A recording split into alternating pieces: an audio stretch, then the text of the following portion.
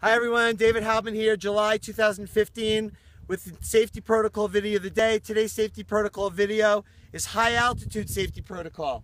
We're at 9,100 feet at Guardsman's Pass in Park City, Utah.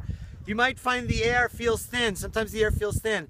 You might start to feel that you're out of breath. High altitude is dangerous. Many humans can get sick. Some people even die. So when you get to this altitude, if you feel like you're out of breath, you feel like you can't breathe from the high altitude, what you want to do is, is typical. You get down. I know it's a little rocky here. You get down and you roll. Oh, fuck. God. Roll. Roll.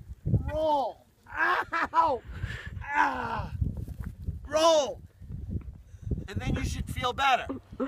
I don't say that that's the thing that you should always do, but at high altitudes, it's the only thing you can do. And sometimes the only thing you can do is the safest thing. David Halbman out.